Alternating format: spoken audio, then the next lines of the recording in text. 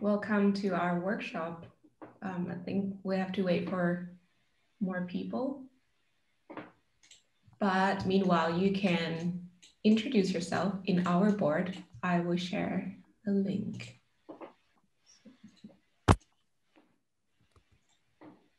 Oh, where do I go to the chat? I got the link in. Hmm? You sent? I put the link in. in. Yep. Mm -hmm. Awesome. Ah, yeah.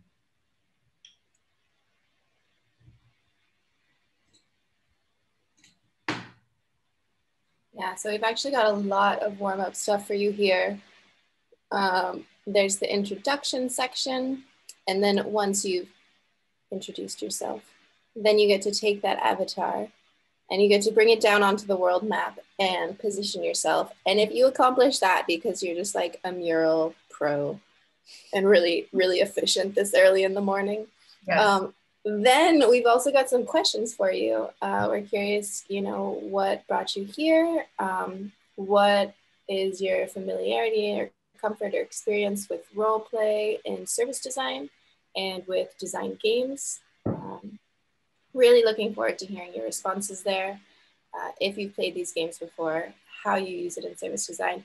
And if you have made a design game, uh, follow that little dotted line because we would love to connect with you and hear more about what game you've made. Quite a few challenging tasks this early in the morning. it is, yeah, yeah. Oh, but looks fun. yes, definitely. Yeah, this is the pregame. Um, if you can't finish these tasks, then you don't get to participate in the rest of the game. So just chop, chop. Uh, hi, can I ask a quick question? I'm not a Mac user, so Control Command, what's that equivalent to a Windows? Ah, um, Control. I think Command could be Window, but I'm not sure. Wait, I'll Google. I would say it's function. Uh, function. Yeah. No, function would be Alt. No. No, no. That's at least in my uh, win in my Windows keyboard, it would be function Alt. Alt, but I'm not sure. Let me try. Which one do you want to be? I can also type something. It's this one here. It's Diane Gatto. Yeah, I know, but um, which um, which emoji do you want to be? I have a cat. I'm, a cat? Yes, I can get you a cat. uh, I think Abby is on it.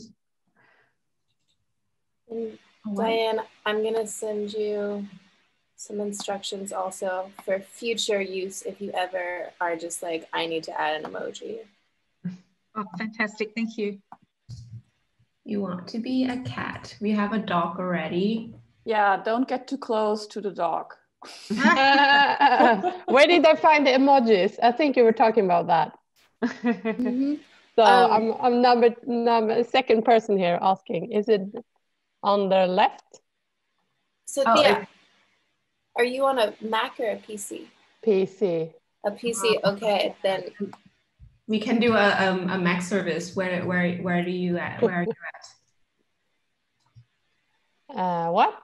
You're a Fra Francisca or? Ah, Tia, Tia Lemon. I haven't written something yet.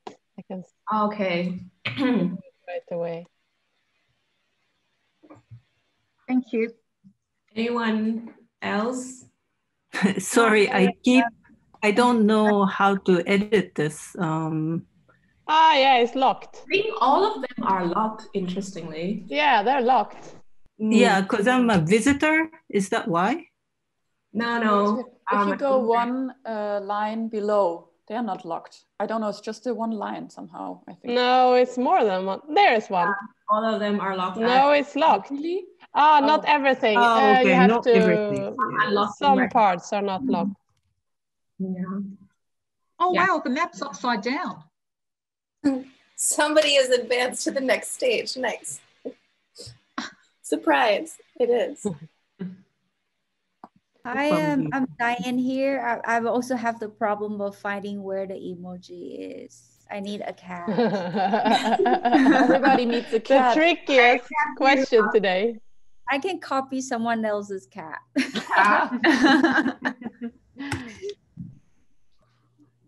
Uh, what kind of animal? Could I have a pig? Is it possible to find a pig? Where's the For cat? sure. Who's asking for the pig? Me, Tia Lemon. Yeah, we can do that. We got you. Oh, so nice.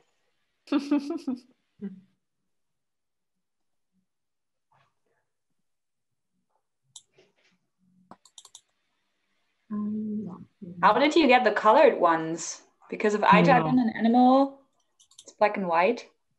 Um, you can go to so like if you go to the box, there's um, the color here. You can change the color background. Ah, okay. Oh, thank you for the pig. I'm so happy. It's so cute. it's really cute. Uh, can someone help me? My box is locked, unfortunately. So I'm Francisca Uh-huh, let's find you. What is it? Accident. underneath a shark. Yeah, it's open now, right? Yeah. Okay, for me it just says this object is locked, unfortunately. Them are just locked right now. Yeah, it's kind of like knocking on a door. If one of them's locked, that's our mistake. But there will be another one that's open. I feel like I just unlocked. it. ID Francisca is open. You can take that one maybe. Um, Oh, I'm sorry.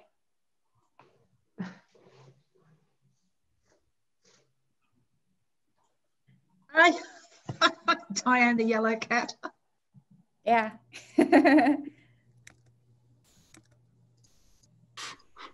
don't. I don't. It's funny that we both like cats and we're both Dianes. Yeah, there are like two Dianes. Uh-huh. Hi, Diane from Sydney. I'm Diane from Taipei. Hi, how are you?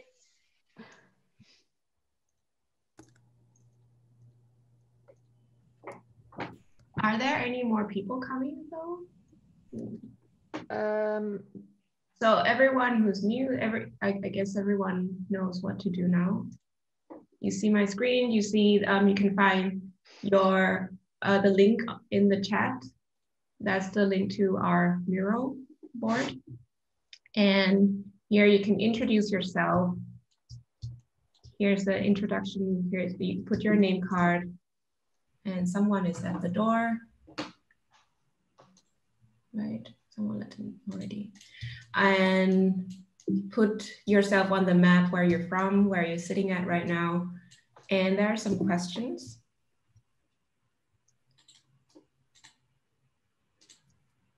Some questions down here that you can answer by putting your avatar, just copy and paste on um, if you um, have played the game before, like role-playing game, or if you have used role-playing game in service design and so on. I think um, we'll start soon. Or maybe it's too early. Yeah, I think we could wait until quarter past. Yeah, I have to find Europe. Right? Where is it? What do we do when it's not the center of everything? No, why is it the center of everything? I couldn't find my own place here. Just one question. We have uh, we have 18 participants on Zoom, but only 14 people on the board. Is anyone having problems getting to the board? You can you can talk to us. this is not a presentation, it's a workshop, so we it's better to interact. Um, if you can't find Zoom, just uh, shout. We can get you um no mural. We'll get Yeah, you the yeah. link. Hmm. Link is on the chat in case uh, you cannot find it. Is someone still searching for Europe? I think I found it. Oh, nice. Thank you. I'm So searching for you're looking Europe. an we made it a bit tricky. Ah, that's good. That's good. I So like everyone it. wakes up, you know. I like it. So Europe, is it with the blue panda? Uh, it's it's an otter, yes. Oh, Yeah. hello, little otter. Yeah, I thought it was there. So nice. I will pick my avatar.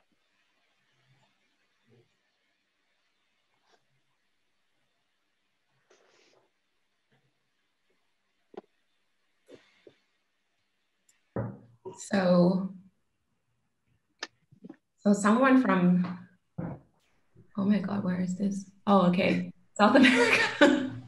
it's super late there, right? Yes, that's me and Josie. We are in South oh, Okay. Yeah, I'm also, I'm on vacation. I'm in Hawaii.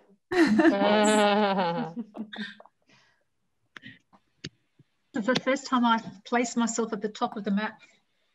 Um, oh. Yeah, anyone is still not on the board because we will use the board during the session. So you should oh, get on the board by going to the, the chat um, in Zoom and there's an, um, a link to Miro.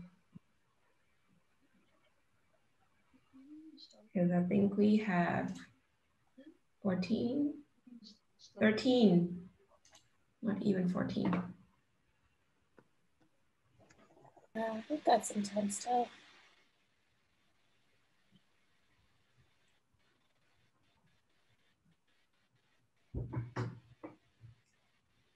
Arthur's Universal Corrective Map of the World. Abby, where did you find this map? And Google. and you were reading the title, and I thought I we should have covered this. I just wrote in map upside down. Someone moved me without my consent. Where am I now? Ah, okay. Oh, that's yeah. I moved you. Oh, we were in Middle East for a long time.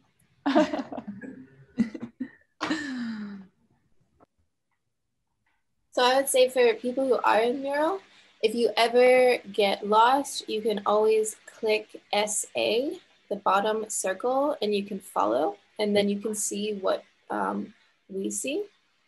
Uh, you can also use on the right side, if you're looking at Ko's screen, she's got the outline pulled out. And you can do that also if you just click that box with like, it looks like an agenda on it, like a, a box oh, outline. The outline. Mm-hmm. And so then that will pull out and you can sort of zoom to where we are in that moment during the game. Because it's a pretty big board. We're going to mm be going to a bunch of different areas.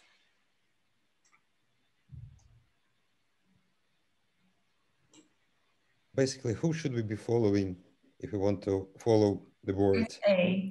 S. Okay. I can also ask you to follow me and then everyone just yeah, yeah, yeah, I think you guys are busy. Sure. Um, mm -hmm introducing yourself. All right. Oh, we got, we got, we only have 18 participants. Yeah, do I pronounce your name like Thea or Thea? Uh, Thea. Thea, Thea, cool. Yeah.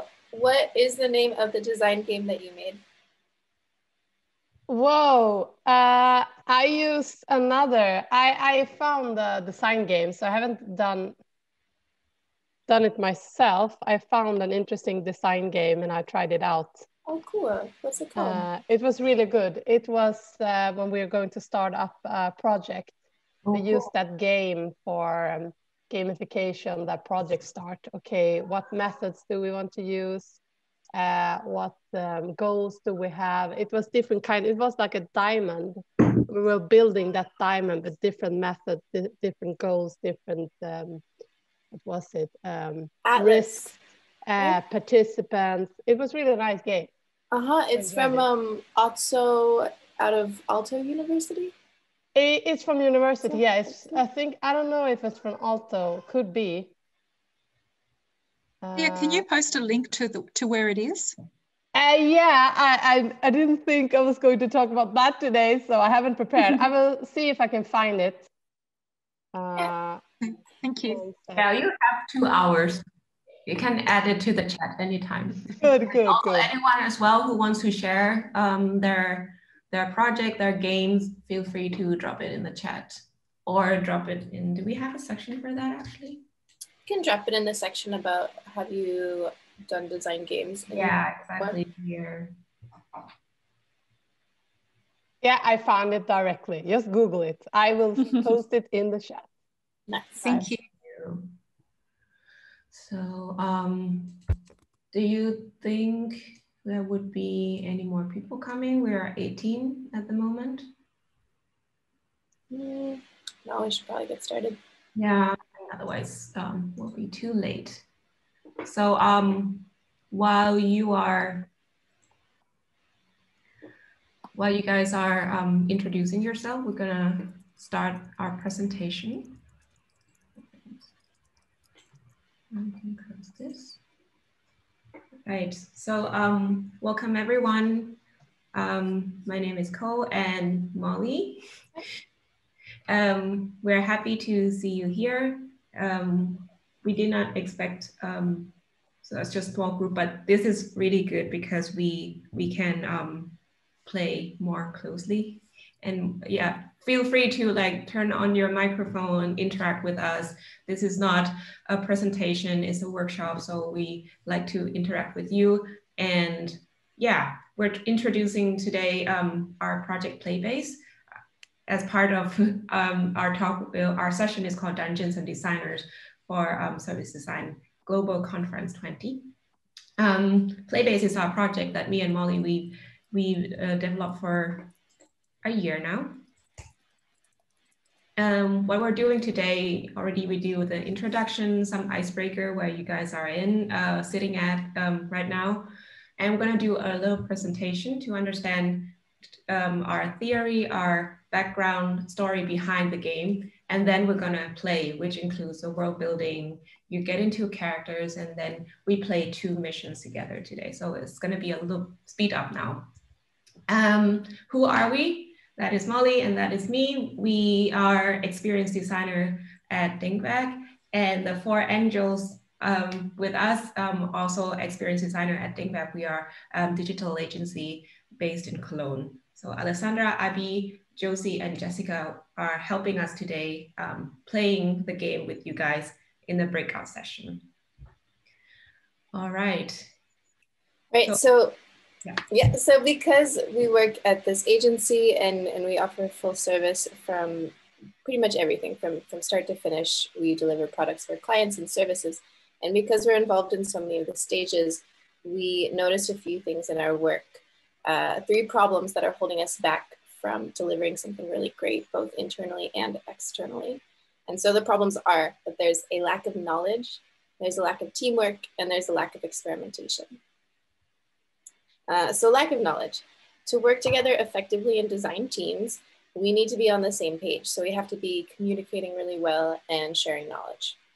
But as you possibly experienced, um, how we process and how we share knowledge is really outdated.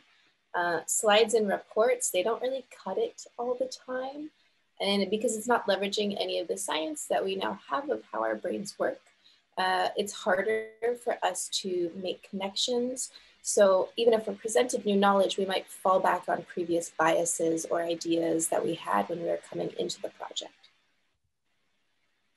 Then there's a lack of teamwork, and this is always a challenge uh, because we all know it's not the team of champions that wins, it's the champion team.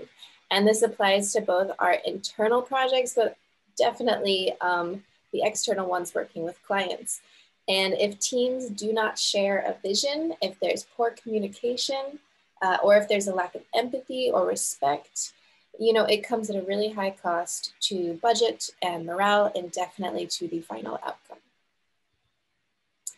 And then last, there's a lack of experimentation where we're really rushed often. Um, and when we're rushed, we, we group think and we vote on the safe bets. Uh, we, we repeat what other people are doing and we're caught in this uh, loop of just end, endless inside the box thinking because we don't budget in the safe space to play with new ideas, uh, to experiment a bit. And we know this is a problem and we know all these are problems. Uh, but the problems are also the opportunities. And so these, Ko, you're not sharing the slides anymore. I don't know, but I, I, I want to get this one out a moment. Um, so imagine a picture where it's three icons that we just presented. So there's the lack of knowledge, the lack of teamwork, the lack of experimentation. And the problems are also the opportunities, right? That's what we know as service designers. Problem spaces are opportunity areas. Um, so these three aspects are simple and key to building a strong foundation to generate the ideas, to explore, to dig in, and to get great outcomes.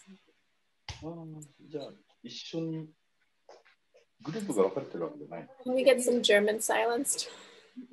some muted, some, I hear some muffled German. Um, okay, so yeah, later we always say, so we keep overlooking this need for a good foundation because, like I mentioned, increasing demands on speed, uh, performance, so on and so forth. But when the shit hits the fan, when suddenly you're having problems, uh, then you're in trouble.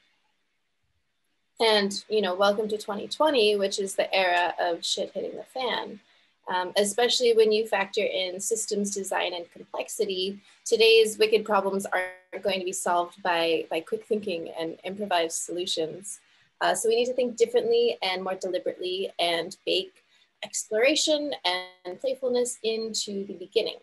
Um, teamwork, knowledge building, all of that into the foundation. Right, and that's why today we're introducing our solution, which is Playbase. Playbase would help you build a strong foundation with your team. So if we're saying that we are leading innovation with our clients, with our team, our process might as well be innovative and inviting participants to look at the project from different angles. Um, so why can't we be more explorative in the way that we work? And Playbase is designed um, to help you look at, the, at things in a systematic way. So um, it helps you to connect the aspects and work outside of silos in the way that normally we, we, we are not used to. It creates a space for participants to understand the context and learn to collaborate and enforce team building.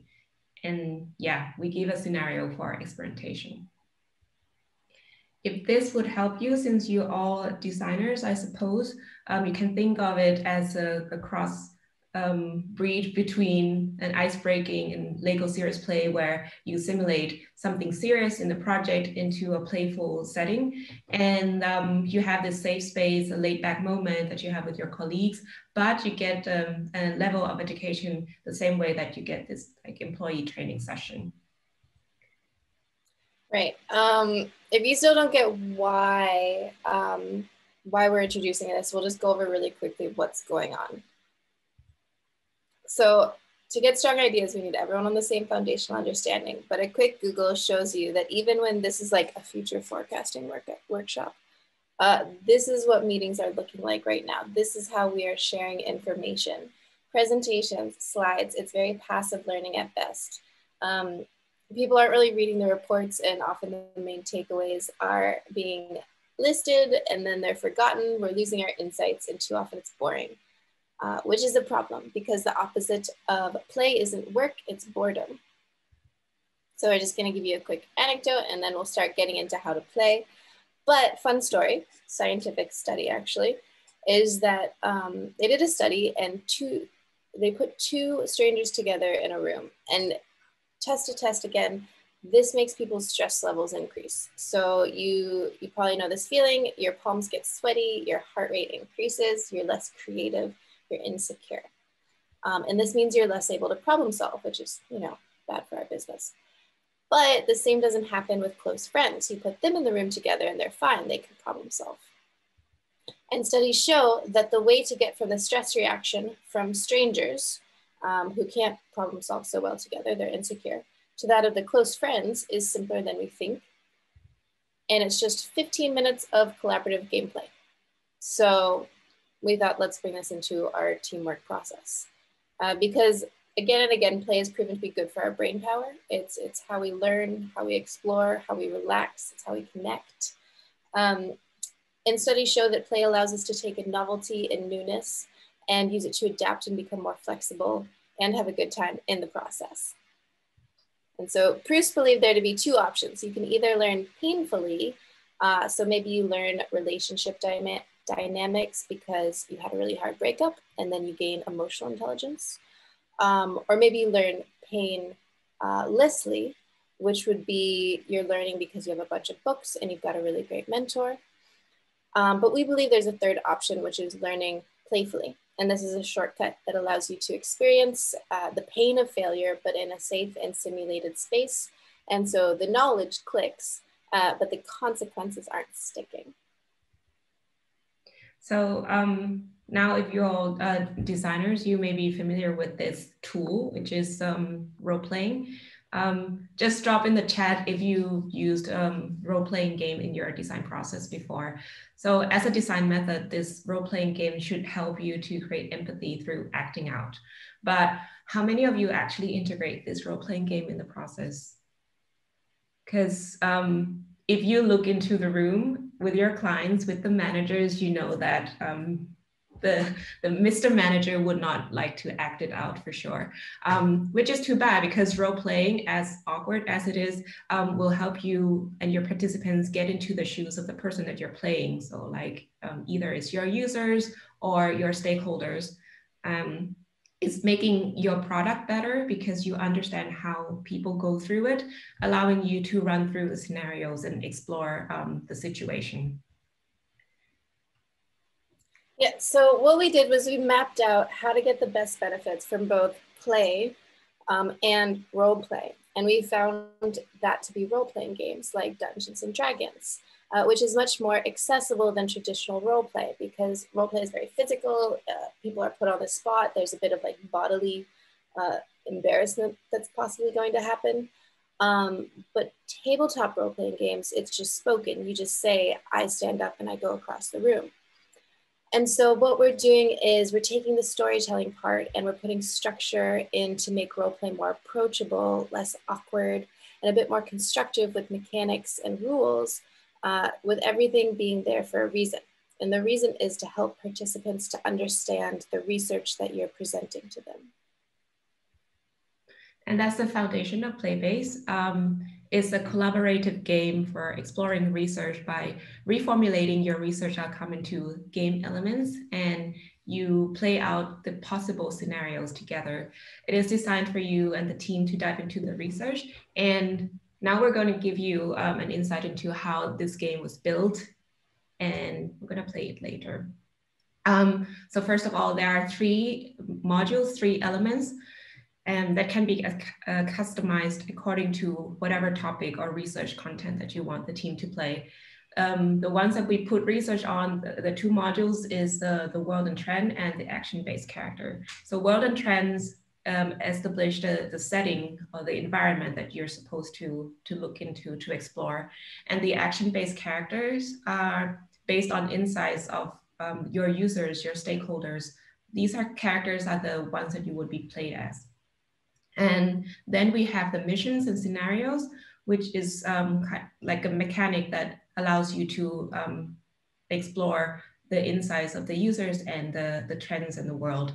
So we build this game together with our clients, with our team to transform research into the game elements, especially the world and the characters that's based on the research. Yeah. So one by one then, world building is key to translating research into the game. So the contents of the world depend on the research outcomes. Um, trends uh, or findings or insights, they're all highlighted as a gameplay element, like the trend cards that you see here. Um, but it's not just trends. So you're constructing the play materials out of the key findings that you want the participants to explore. So that could be anything. Uh, user insights, new market or use case opportunities, or even imagining a new organizational structure.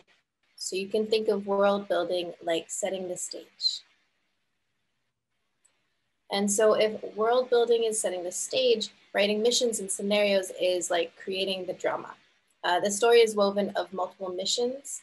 Uh, you can think of those in service design terms as user journeys or in UX terms as jobs to be done. Uh, but these missions are basically challenge scenarios for the players. And they provide the learning delivered in story format that your team needs to know to understand the context and explore the unexpected. Uh, but in the game, you know, unlike a user journey, you can change the outcome of the journey. So characters take actions within the missions and the mechanic of rolling dice is introduced and promotes explorations through the story via improvisation. Right. And if you think about characters, you of course might think of personas and that's not wrong because that's what it's based on. A good personas normally should allow you and the team to explore the product or the service in or the situation with a new understanding. You should see it differently from your user perspective. But in the worst case, which is most of the cases, um, it is presented like a poster and disappeared shortly after the first stage of the project. You know, personas should actually help you to decide, um, to make decision throughout the product development, but they can't help you if um, they're forgettable and it's hard to relate. So that's why we have this action-based personas, which um, let you take the action, which is like a backbone of the persona, um, in the role of the users that you want to explore. And you do that throughout the course of the game. So it doesn't matter um, what they look like, what's on their purse, what car they drives, um, they drive. Um, it is more about what they can do. Yeah, so now this right here, what you see, this is one of the main activities we'll be doing today. Uh, because what happens within the game is we present an archetype. Um, so it's not a persona yet, it's just an archetype. Um, it's got motivations, fears, goals, etc. But it's it's not like a person yet. Uh, then what we do is we let the players fill it in with details that turn it into a persona. Uh, so we provide the psychographics uh, to ground the character in, and we share what their main actions are with these action cards. And then players will fill in things like their backstory, their quirks, their occupation, their hobbies, uh, their temperament as a person. And that way within this framework, provided there's no there's no wrong answer because, you know, spoiler, spoiler alert, people are incredibly diverse. You know, there's no wrong answer. Right.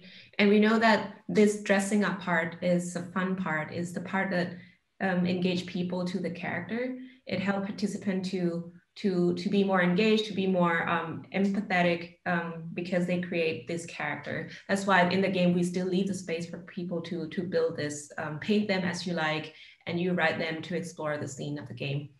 Um, it's not just fun; it is also active learning because um, the material that we provide in the template is actually from the research, and you actually draw those materials to build your character. Yeah, so if you look at the different levels of persona we've provided in this new format here. Uh, it looks like this. So you're starting with an archetype. You're, it's pretty superficial at this moment, um, but then you're adding unique qualities. So then you're turning your archetype into a character. Uh, then you're adding a goal, a job to be done with the missions. And you know, then you've got a character on a mission. And finally, and this is where you want to be, uh, you add your actions. So then you've got a character with unique qualities, a persona that can help you make decisions and take action. Mm-hmm. So finally, how we play. So how these all elements are coming together. Um, it is based on three steps. That is describe, decide, and roll. Molly. And so, yeah, so uh, yeah. so it's a 20-sided dice with a scale here. We got a wild success if you roll a 20. You succeed if you get a 15 and it's an utter failure with a one. Uh, you can, if you know some basic probability, you know then that it's hard to succeed with this situation. Uh, it's you know not likely that you're going to roll higher, 15 or higher. But that's the point because then we're getting participants to explore what happens when things go wrong, which too often is a little too hard to bring up in a normal conversation. Mm-hmm. Um, so to understand how we would apply this, uh, we've got this case study of an e-commerce uh, client. And, you know, we've got our characters. This time for the archetypes provided, we've got the private user. This is again for e-commerce. We've got a remote worker. We've got an office lead, a retailer, and an architect. And these are our archetypes. Uh, and then you can see in the little circles provided, we gave a short, short description about them, and we've got their actions. Uh, so that's what we provide, and then we let people play out as those characters with the simple descriptions. Uh, for the mission we provided, really simple, it's just activation. Uh, the challenge is that there's too many companies to choose from online, and we need our remote workers to get set up at home. How can we get their attention in order to help them establish home offices? So what happened in this one session was the person playing the office lead they their action was uh, share options with the company. So they said, I'm going to share options for uh, all of my employees, what they can purchase. And they used the card uh, the insight card in this case, which was that there's a need for vivid product showcasing online. So they're like, all right, I'm gonna share this vivid product showcasing, uh, send to all the employees what furniture items they can purchase. They rolled, they got an eight, uh, so they failed. And so in that storyline, what happened was when they tried to share all of these options with employees, uh, some of the employees were looking at more expensive items and they bought furniture that was outside of the budget, right? So then another example was one person was playing the retailer. And so the retailer said, okay, okay, I see what just happened there. And they say, well, I know that there's this insight that there's an importance for strong customer loyalty programs and benefits. Um, and I saw how that just failed. So I'm going to say that we can showcase products uh, and we're going to do it in a way that the client gets like a specific portal for them to share it with their employees and kind of give them this benefit of a, a better viewing platform as a retailer. And they rolled a 14 uh, and you get a bonus for the trend cards. And so they had a 15 total, so that succeeded.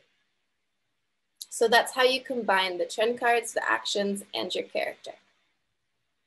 And then we have another case study, which is the future smart city. Yeah, and this second case is what we, we're going to play today.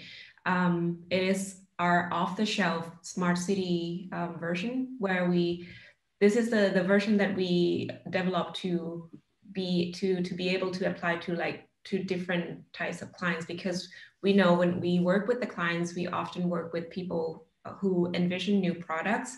So um, they're talking about like new technologies, um, new markets and so on. So we developed this off-the-shelf game that we could um, meet any client's need or um, client situation because at some point everyone will have to work with like smart technologies.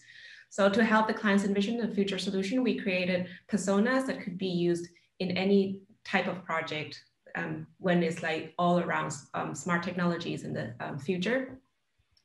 And we base our characters um, for this case on um, the, the book by Andrew Keen is called How to Fix the Future.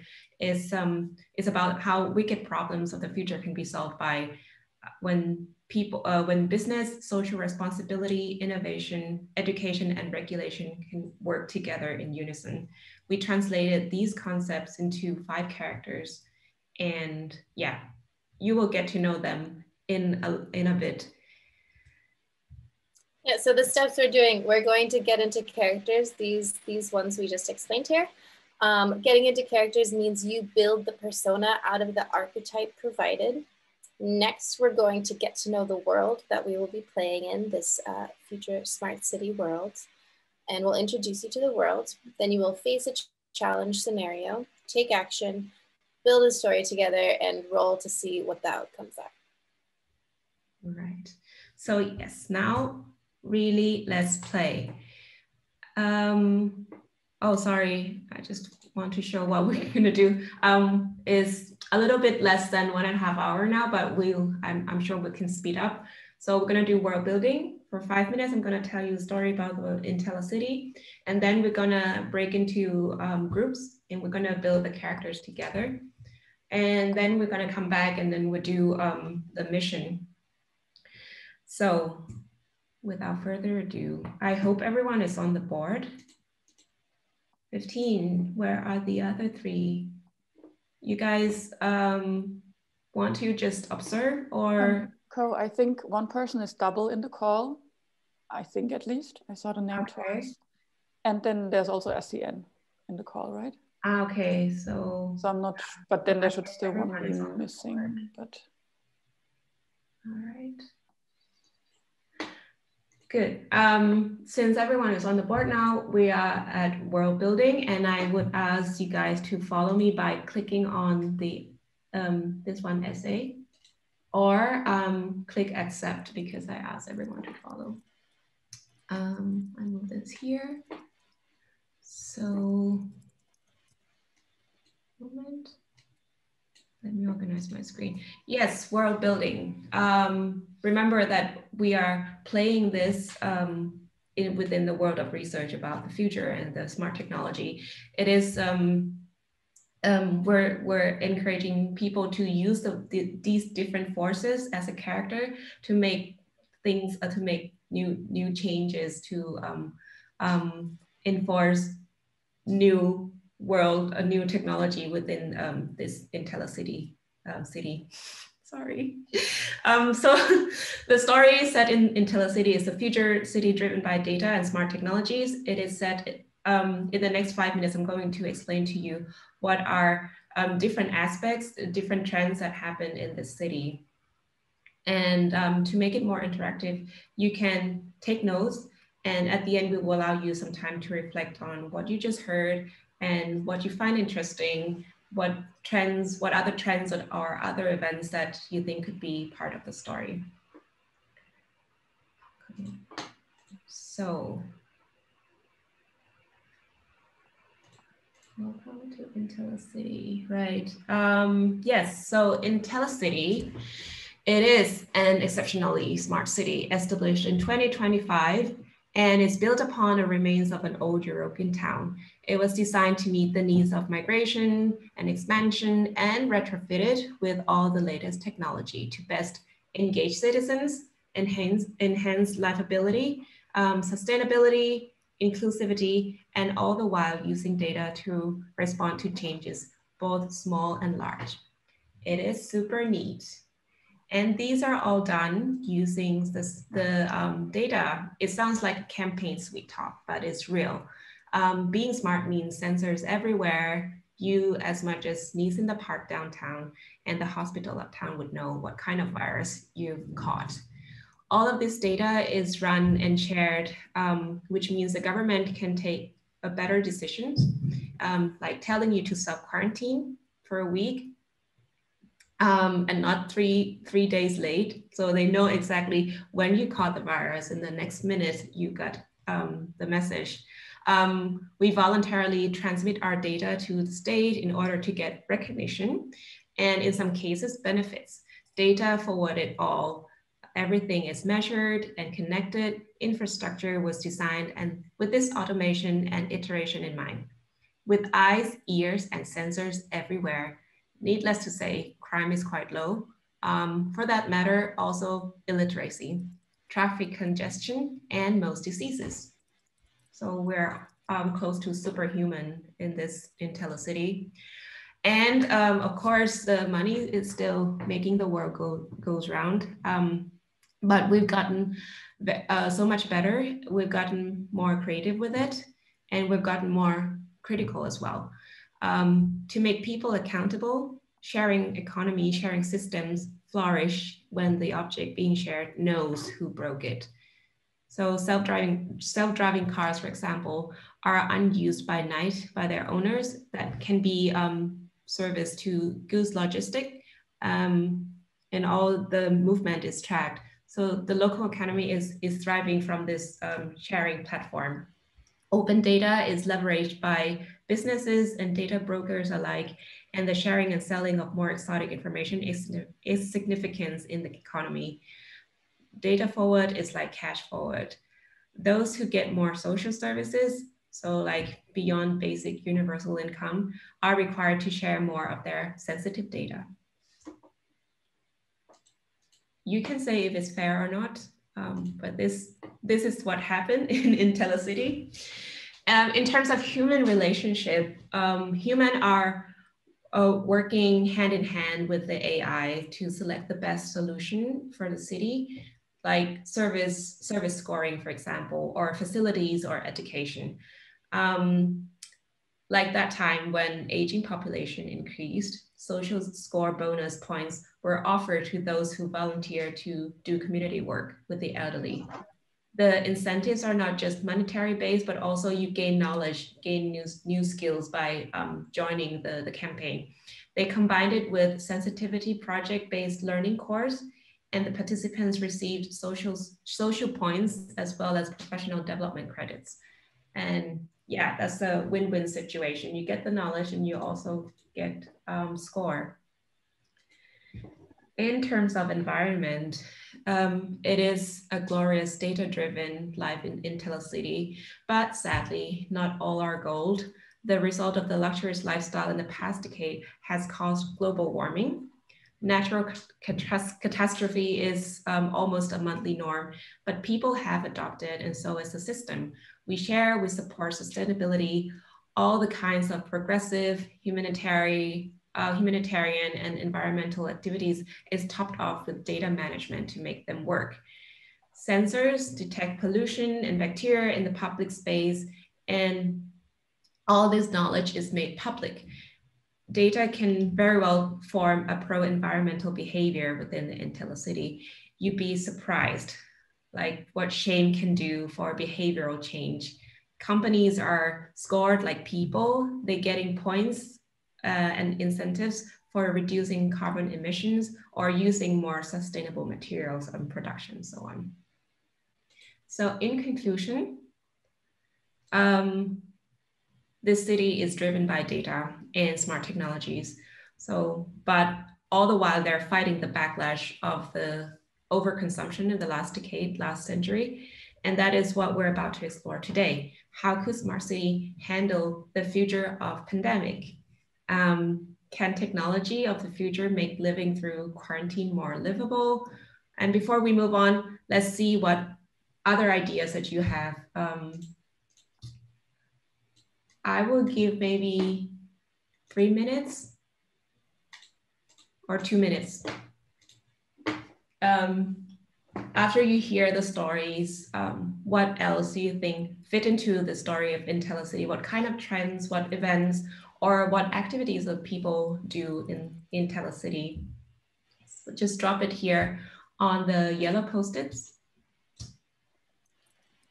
Or imagine if you are in IntelliCity, which you will in the next one hour and 15 minutes, um, what kind of life you're living.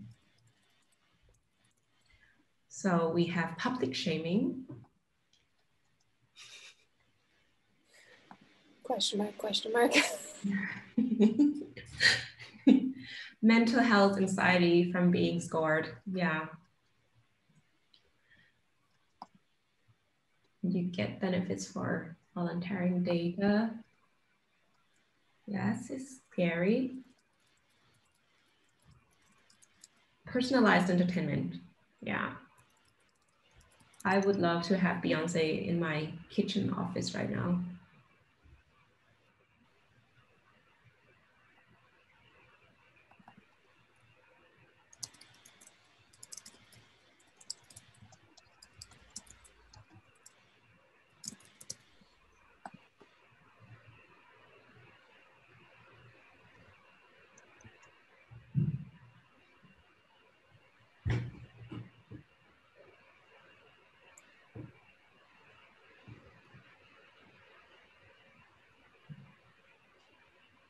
Companies being scored is good. Yeah. They should be responsible of what they're producing. Be.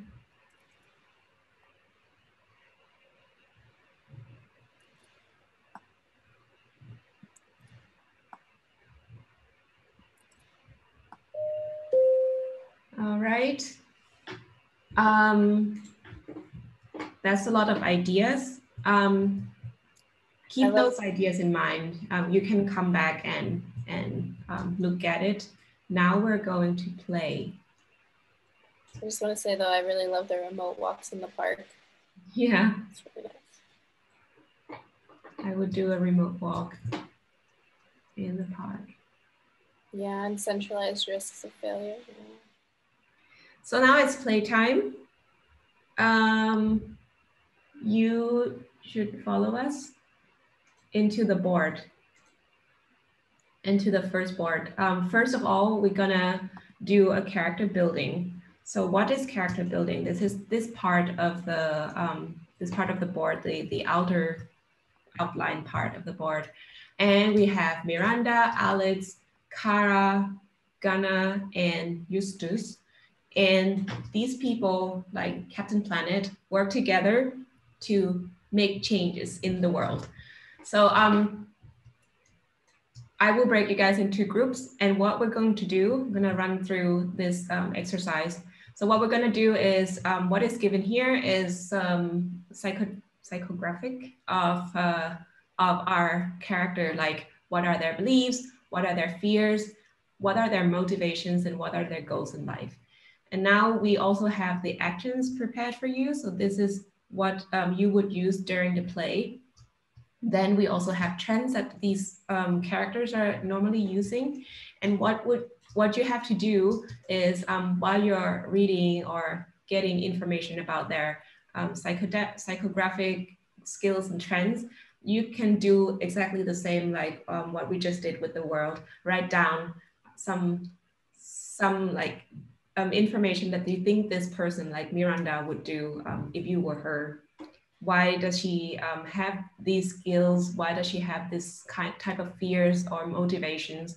And then from there, we're going to write the background story together. So we're gonna break into five groups and um, Jess and Alessandra, Josie and Abby will help you to uh, build the stories, the background stories together. How was it? Really nice. oh, I see you guys have a long story. and we were only starting, by the way. yeah, we could have, you know, continued. Yeah. could have li- uh, written down his whole life story. and I saw my type typo mistake. Hmm. Yeah, it's not Kara's story, it's Justus, but no, it's either way. and I tried to change it and I end up uh, unlocking. moving the board. Ah, yeah, no, it's fine. We found our way. So is everyone back? Does everyone know that we they have to actively leave the room? No, they don't have to. They they oh. will be taken back. Oh, because we left the room. Yeah, yeah, you can you can click leave the room or you can. Ah, okay. Yeah. Hello. Hello. Hi. Hey. Back. I think everyone is back and everyone is on the board. Um, cool. So next thing we would do. So I, I forgot to introduce myself as um, I'm a game master, and this is very important for the game because we you have the the game master who takes everyone around throughout um, the game, improvising stories and so on. Um, how how was it? Was it easy, difficult, confusing? You can turn on it's your good. microphone, talk to us. It was fun. It was fun. It was fun, yeah. But I would loved I would have loved to have a little more time actually, but that's usually the yeah, case. as always. There's never enough time to build the story. So why don't you start? Oh well. yeah, sure, I'll do that. Um I'll switch to the mirror because then it's a bit closer for me to read. Yeah, mm-hmm. so um, now we've met Gunnar um, here. Mm-hmm. Um, Gunnar, as his name says, uh, has a strong need for regulations and for safety. So um, one of his strong beliefs is that um, everything needs a regulation so that it works um, for everyone and everyone is safe. Um, and that's what he wants to ensure that everyone stays healthy, that he lives in a stable system. Mm-hmm. Um, and yeah, it makes sense that one of his biggest fears is uncontrolled change and decision making. So um, preventing chaos is one of the big things, and we were wondering uh, where where that came from.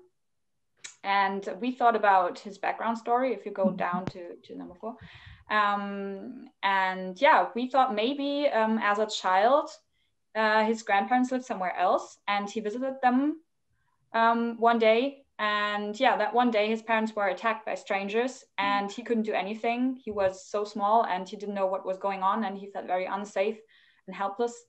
And yeah that this led to his fear and his desire for this strong regulations that give mm. safety. Mm. Um, he's batman. Sorry? Yeah batman. Maybe maybe that's a, actually a good yeah a good uh, thing to talk about because we were not we, we didn't have a good idea so far what he's doing today what his job is what he works as. We so also guys... don't know what batman does. But he's rich. He's a billionaire. He's a philanthropist. Yeah. a vigilante nice. So gunnar mm-hmm. so um he wants to change the world because of uh of the unfortunate accident. Yeah, he's Very for me he seems to be like someone who um, really wants to make sure that you know if you if you send a package it's really safely t- uh, like every fragile mm-hmm. item is packed in very safely and would stay safe mm-hmm. So that's his job, maybe. Like he's the like postal overseer, He's a DHL guy. but Yeah. like but like the top of it. Yeah. okay i'll just type that in that's fine with you guys That's awesome. Thank you, Gunnar. Who wants to introduce yourself next? Or I choose. Easier. Justus, you have quite a long story. yes. I- I'll be introducing Justus. Well, we discussed it with Mhm. Jess, and uh, we feel that Justus is a kind of, uh, you know, a postmodernist, but in the stealth mode. Uh, On one Mhm. hand, he's the guy who who wants to break the rules, and uh, he Mhm. actually wants to take the world to the new future by technology, so on, so, so on and so forth. But at the same time, uh, he always wants to have a definite answer. So he still believes in the science. He still believes Mhm. although he's actually his innovation might ruin the world one, one day and then we thought um, so on, on one hand creating something new being in a protest mode is very important for him so this is how he lives on the other hand he still wants the world to be uh, a bit predictable to have logical You echo? I think that's Bo figuring out her her tech. I just muted her though. yeah, yeah if we can mute maybe for Yeah. Now I'll it tell you the story. So, and basically, of course, uh, this didn't happen by accident. Uh, this was this is how he was born, more or less. Mhm. His mother was crying when he was three because he couldn't uh, have him obey what she's telling him. He wouldn't take no from her. Uh, in the school, it was all the same, but he was smart enough not to invoke uh, unnecessary conflict. He wasn't doing the homework, but he was Mm. in the goal. He just needed to pass. And uh, then he thought, okay, maybe university is better. No, was no better. So he dropped out a couple of times, but eventually he needed a job, needed some money. Mhm. And uh, realized operations is not for him, something boring is not for him. He would rather go for creating something new. This is what he was good at. Mhm. And then learned that in this, uh, you know, adult world, it is called innovation. Okay, so I'll be innovation. He's a tech guy. He's a tech Mhm. guru. And um, how he found himself uh, eventually doing uh, startup, uh, startupish things and being a technical consultant for startups. Cool. That's his story. So, so he's like um kind of uh, against the system Um, a little Yeah. bit. Or he has his own system, let's say. Mhm. he's looking for a sense of for a sense Yes. of something and still not reaching that. And and there is Mhm. we wanted to create more drama actually, and he Well, he can create drama during the play. yeah, he, he had this internal uh, conflict. He, he's doing, you know, he's on the risky side of life, doing the base jumping, you know, probably missing some friendship. So he's a lonely wolf, and uh, something Mhm. evolving. We'll see how he tackles the middle life crisis. Oh, we'll see. Sounds familiar. Okay. um, Alex, thank you, um, Justus. Now we move to Alex, so the so social responsible person. Oh, yeah. Who is this person? Um, she, as a child, child, she was curious and friendly to nature. Mhm. She was hugging trees, Oh, literally. she's like, mhm. Oh my God. And normally the parks were preserved, but one day they chopped down her forest. oh no. Uh, her parents were big activists, um, showed her what it showed her what it meant to protest. So now she knew I have to save the so- forest, I have to save the planet, Mhm. uh, which lead her to her belief in taking care of nature. She created a program that turns waste and trash into clean energy. That is really good because we have a lot of waste and garbage in this world. Mhm. Um, and in her free time, they can be found in her floral garden doing. Um, b- she's having Beekeeping. Precis, beekeeping. So she is a person that um, has Fridays for fun bonfires. She's inspired of Greta Thunberg, of course. Mm-hmm. They're really good friends. Mm-hmm. Uh, and something she really likes to do is hide for Big Sister. And when I call talk about Big Sister, I mean the the all connecting everything. She go down under the radar. Mm-hmm. Because sometimes you want to have some free time. You don't want everything to be connected. Ah, okay. So she found the tunnel of the Yeah. internal city. Yeah. She's really smart, by the way. I think that was it. Yeah, she has a robot, uh, a smart robot friend, of course. Robot or roll, rolling boat? Robot, robot, Robot. robot. Yeah, Nice. yeah. Also, she's like social responsible, but she's still friend with the technology somehow. Yeah, It's a she good- used technology smart. Mhm. Okay, thank you, Alex. Now we move on to Miranda.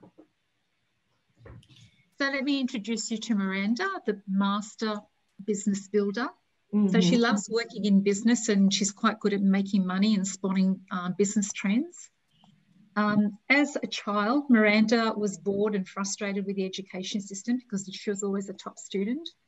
Um, and it didn't really meet all her student needs or even some of her um, friends' needs. And she could see the system, there, there was inequality in the system that just wasn't working. So she had that systemic overview. She wants to be an influencer and she's very good at being able to spot trends and work with those trends. Mhm. Um, and she has many people following her. She's a natural leader. She Mhm. likes to, to introduce new stuff, whether that is a new policy, a new way of being, a new way of doing business. She's financially stable because she understands how money works. Um, she has an ability to mobilize a team and she can uh, really motivate a team um, Mhm. towards a big goal and a big vision. So she's very, very strategic. Mhm. She can she can be impatient with people who are not open to taking risks. So she has a very high risk profile. Um, she's probably working as an entrepreneur um, and has or and or has her own consultancy business where she's consulting to business um, and senior management. Mhm. Um, and probably stays away from traditional corporations because it's just too Mhm. boring, too routine, and too difficult to to disrupt. So she, just her as, as an entity, is a startup because she Yeah. does everything herself. wow, that's Well, she knows she knows how business works, and she's she's that systemic and strategic. So I Mhm. don't think that she would be a good fit into corporate because corporate wants to Mhm. put you in a box, and she doesn't like Mhm. being in a box. hmm So she would be like the the startup, like the seed or like Series A, and then after as a corporate, she quit. So Yes, yes. nice. So she's not she doesn't stay in one in one Mhm. structure for very long. She likes to set it up and then move on. Well, thank you, Miranda. We'll see how you um, how you build your startup in the in the game. um, now the last one, Kara, the TED talker, the educator. Yep. So Kara, the educator, so she's a very active, uh, tough um, woman who really strongly believe in uh, education, and it's uh, we must leave better children for our, our better world. And Mhm. everyone has potential, and they simply need to be activated in the right way. And growth comes naturally and must be nurtured, not forced. Mhm. Um, and um, yeah, so she really uh, gets motivated by nurturing ta- talent, helping people discover uh, love of learning, opening up people's minds to new ideas. Um, so we thought about, you know, she probably had um, access to lower education, quality education as she grew up. But then one day she met, you know, at a classroom, somebody came in and talk about how education um, can really open up the doors to everyone. So if you study, if you get a good quality education, you can really uh, build a better world. So she has a strong belief in that. Mhm. And um, now she's a really free spirited person. She works as a freelancer. It's not just doing one thing. She she teaches, but she also a freelancer. And uh, loves to help people and that's um, she's not about money making. It's it's really collaborative you know uh, making the place better society better. And um, yeah she she can be doing be involved in uh, several different projects at the same time. So she's a very active person. Mm-hmm. oh too bad kara did not meet Justus when he was young and convince him to get into the system? or did you guys meet? What do you think? Right, probably. Yeah, that's a nice story. mm-hmm. All right. Um, so what's next is now that you know your character. Um, I don't know if we have time for two missions actually, but um, what do you think, Molly? We can try to do both in one mission. Um, I think we could go straight to the second one. Yeah. Okay. Yep. So the boy to the right, everyone, or just click um, follow. Just follow SA. Has to be follow. We just go directly to the right one. Um, well, I hope you remember you can always go back and refer to your character, but now we're going to take action.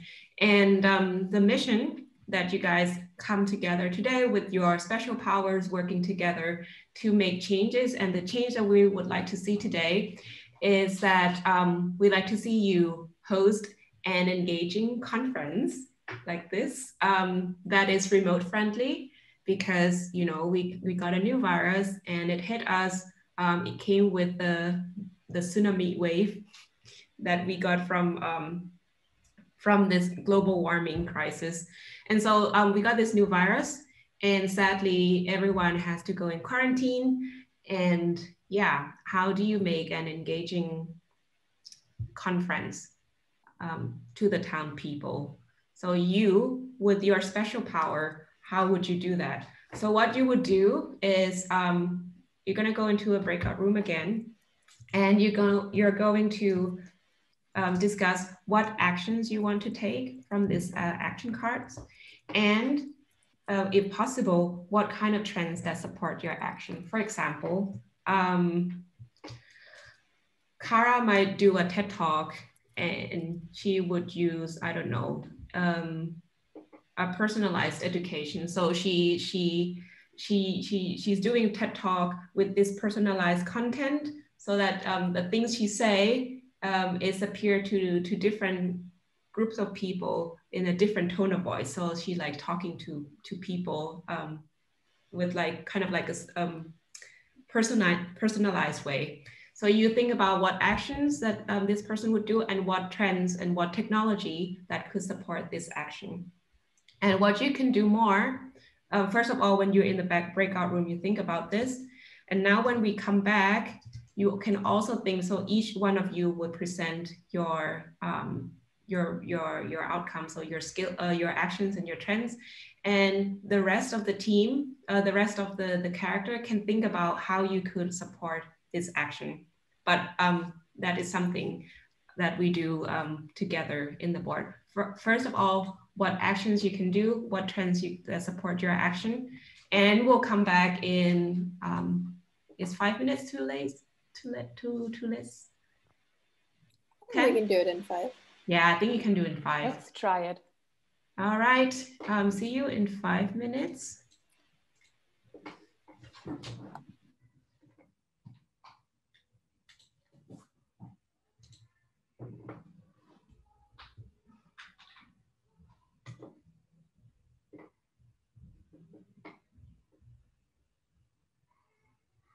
I think you can click join or why you guys still here? I didn't get anything for the huh, wait. breakout. Hmm. That's weird. Well, you guys can do it here. You guys are, no, she's gone.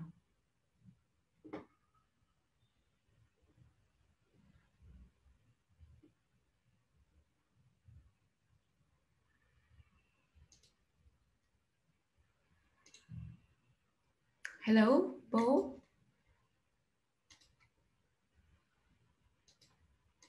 Hello, hello.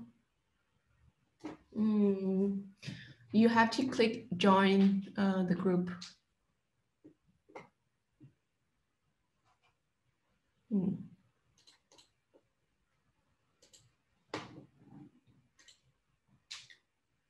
Well, um,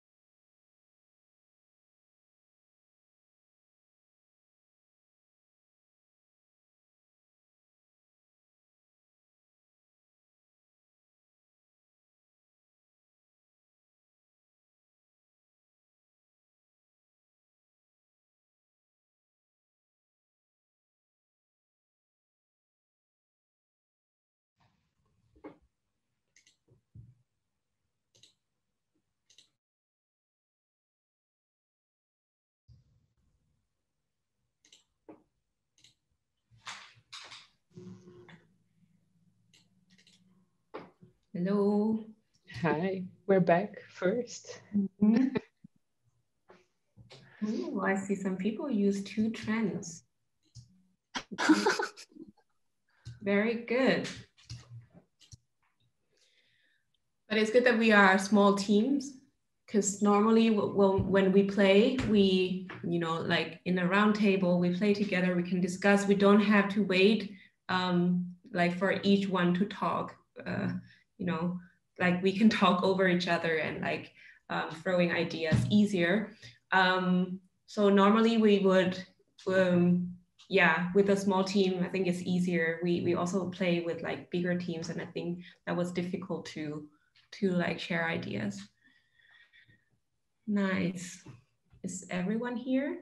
Hello again. Hello. Hey. I, I think we're all here, right? Yeah, Molly's here. Tia's here. Are we missing? Josie is there. And mm, yeah. is there. Okay. Um, no, I have to share my screen again. But and anyways, you guys are on the board. Mm -hmm. Also just follow us. Not us to follow. So what we're gonna do now is we're gonna, um, that was the describe part. I describe the situation, you decide what you want to do, decide which trends you would use, which um, actions you would use, and now we're gonna roll. So normally we do like in a round table, we physically together, we have a dice, but we don't have a dice here that um, everyone can roll in this board. So I'm gonna roll for you guys um, using Google Dice. um, as Molly already explained, um, the dice you have to beat 15 to, to um, to to succeed in in your your action. So um what about we go from from uh the last one last time that was kara? Oh a little bit about since normally we would play two rounds but um the time now is not ideal. So what we would like you to try is um, when Kara is telling her her story, her actions and her trends, think about how you can um, contribute to her actions. So you can contribute to her action by your action. For example, she wants to start a discussion. Gunnar, you can think about how your policy um, actions can help her doing her thing easier? Or is there any trend from your, um, your trends uh, deck that could help her action? Sanders, easy to understand? You can think about it, so everyone can think about it as well. All right. Um, should we mention it immediately after? Yeah, so when Kara said that she would do this, and you can just raise your hand and say, oh, I can support you with this and that. Okay, good. Thank mm -hmm. you. And it's not just Gunnar, right? Justus, um, Alex, and Miranda, you're also very welcome to help Miranda succeed her, her um, action. So Miranda, you want to tell us about your, your action? Do we start with Kara or with Miranda? Oh, sorry, Kara. yeah. Okay. So um, when we were discussing about uh, Carla's action, uh, we think Carla wants to, uh, uh, because Carla was inspired when she when she was little by hearing a speech. So mm -hmm. she would think, what if what if she could use technology and make the, the knowledge more affordable and access mm. more accessible to people who has less resources and then she could intrigue people to start conversation to discuss different things uh, to make different impact so i think we picked uh, the trends of iot because mm-hmm. we believe uh, of, uh, the technology could make the knowledge more afford- affordable and more mm-hmm. accessible uh, to people Mm-hmm. And uh, yeah, I think that's that's basically the action that Carla wants to take. Okay, so Carla wants to start a discussion to kind of reform the um, the education. Yes. So yeah. you reform the education so that it's more accessible um, through this Internet of Things. That means you don't have to be in the same place and taking part in the conference like this doesn't have to be this. Okay. So uh, anyone wants to support Kara? Yes, I can. Miranda can support that because Miranda is actually offering remote. Oh, sorry. It's okay. um, I was just thought I was on mute. Um, because Miranda's offering report um, remote service subscription model mm -hmm. to to match the speakers and presenters with students and participants for, for learning opportunities and networking. Mm -hmm. So um, is there any any any trend cards or actions that you want to, you can move it to, to Kara space? Um, I think it's the sharing economy as well. Mm -hmm. Mm -hmm. Yeah, sounds sounds good. Sounds fitting. Oh, we have the Gunnar uh, chime in with uh, smart government.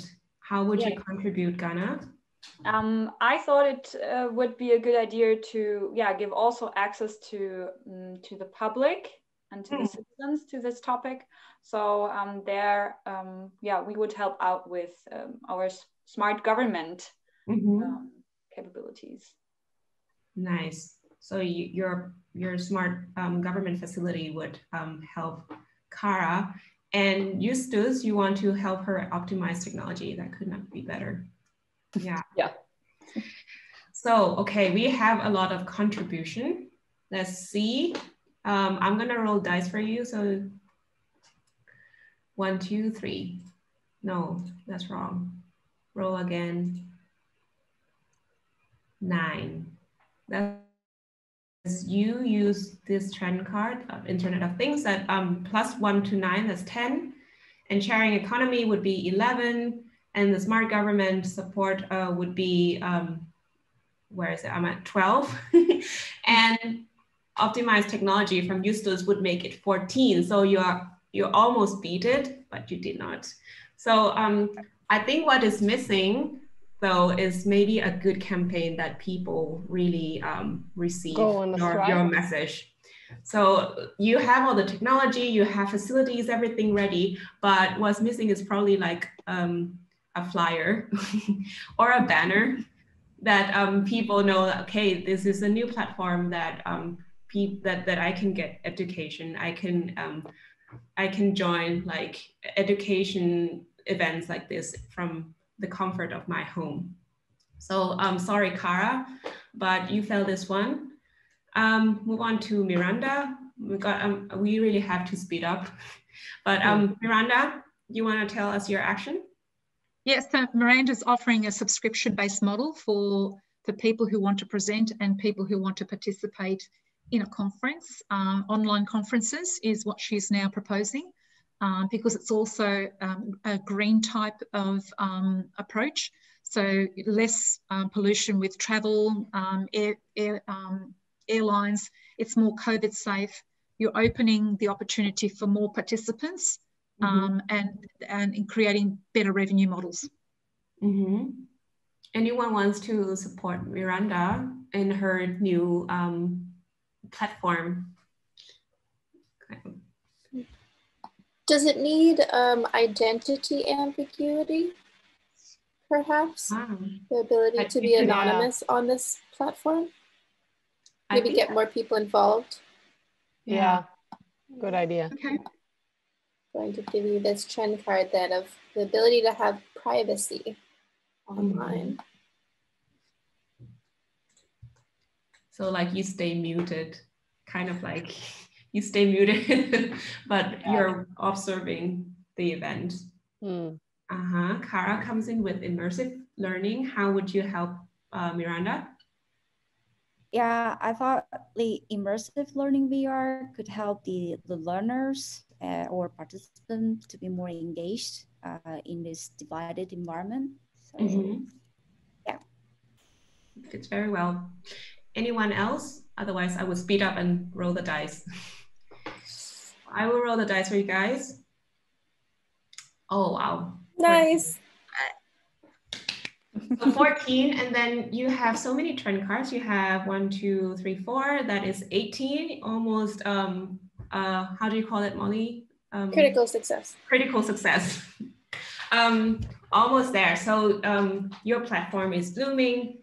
People, uh, people love it. Um, apparently they they they get to know it easier. They, they get to understand the, the how to use this platform easier than um, than Kara. That's too bad. So I think what is different is maybe you hire designer. So you know the secret how people would um would uh, you you you have also the the capital to like um adapt the platform so that it's more user friendly and so people will adopt it and um, you get your money, but people also get their conference. That's awesome. So Alex, you want to tell us your action? Yeah, do you want to go ahead? Is she muted? Maybe she's muted. She's muted. I'm muted. And wait, no. Okay, uh, we are talking about that engaging the community is a good way so we get a more engaging conference. And how mm -hmm. do we do that? Um, helping the people uh, with their daily routine or daily tasks. Maybe someone go out with my garbage over here uh, or giving me some coffee. Uh, mm -hmm. So I get some help so I can focus on the conference. Oh, okay that is our idea. Mm-hmm. It's kind of like to... sharing, um, sharing constant your yeah. your concentration. yeah. Not yeah yeah that's cool. Um, who wants to help Alex get into conference?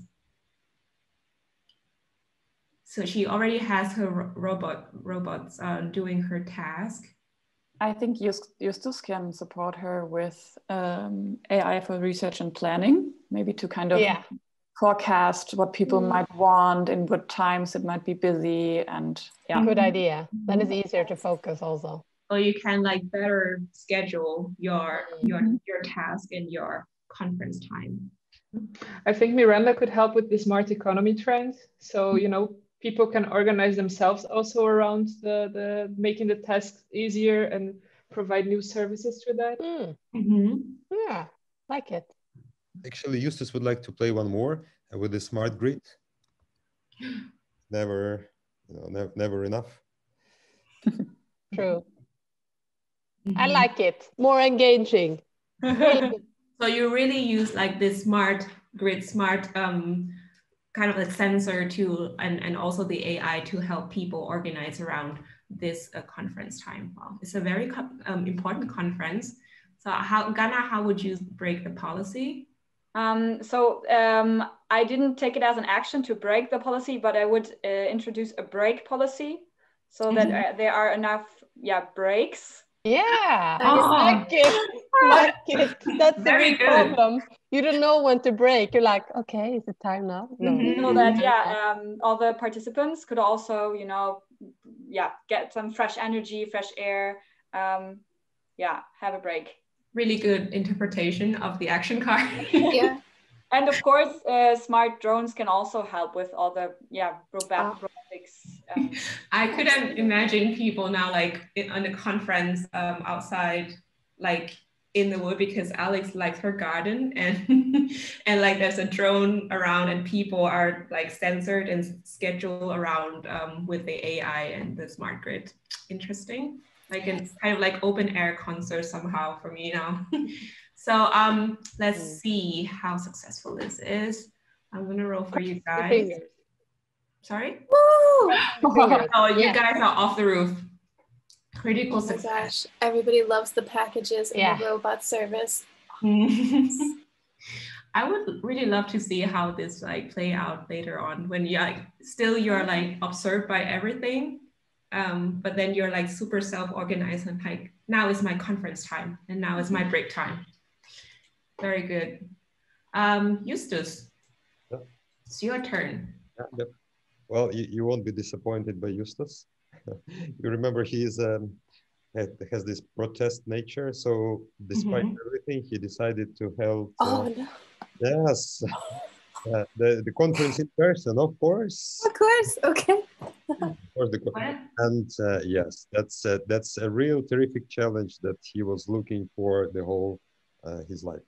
So he will mm-hmm. use all kinds of technology and of course the AI and uh, the smart sensors, mm-hmm. he, he has a vision that, of course, uh, he can use the AI to predict uh, if, um, you know, if, if any danger is coming and smart sensors to do the same. But he also believes that he can blend these two things into one, which is still unimaginable, but will work eventually so that it's just possible to help it in person because that's the, the one that provides the real rich experience. Okay. I would, sorry. No, I would give him the smart uh, healthcare card. So yeah, people know when they're uh, ill or when they're good health. Nice, thank you. I would also, I would give, also give. Go ahead. I, I would also give the predictive maintenance. Um, oh, yeah. That could be really helpful for us.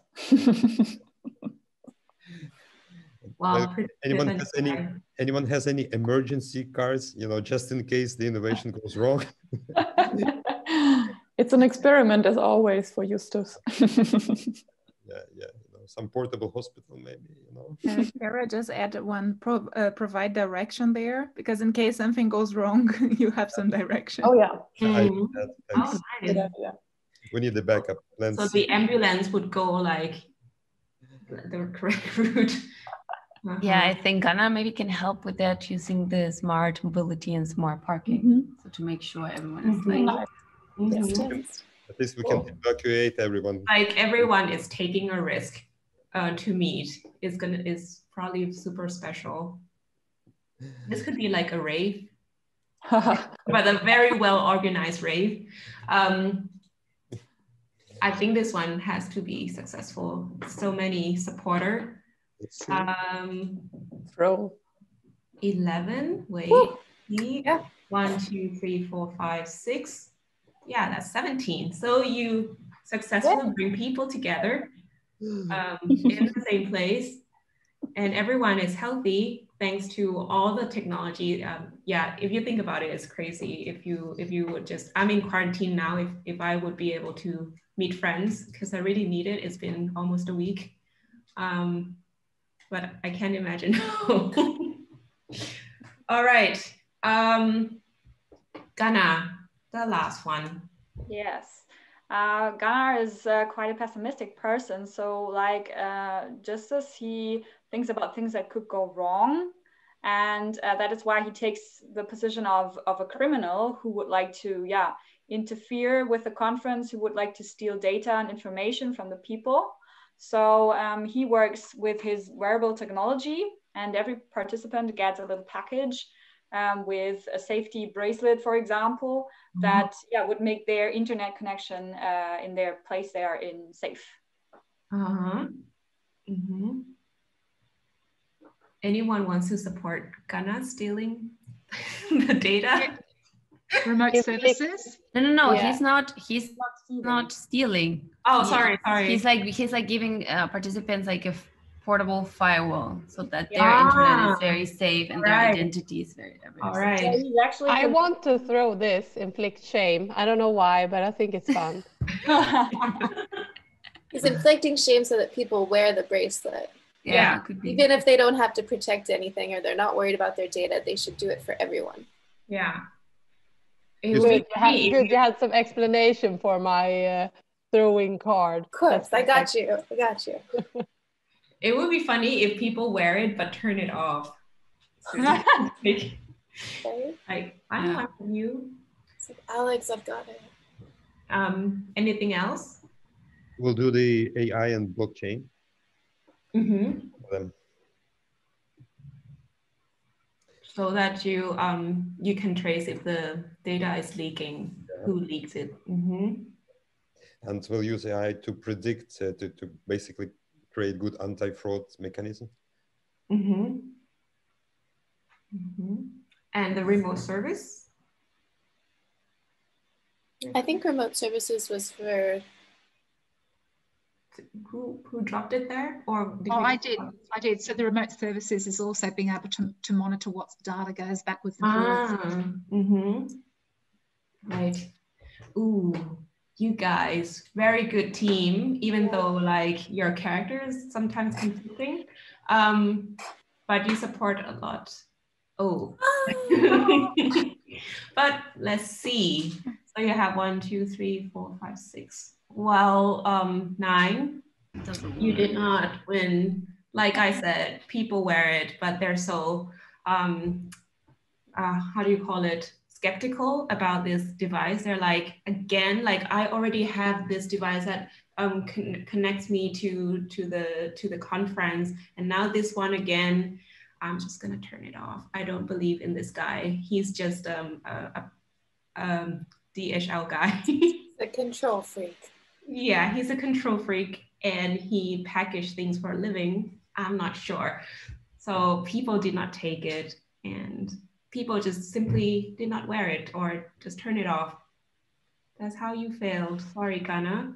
But all in all, um, I think you guys won in this round because you have three winners, right? You, yeah. have one um, critical success.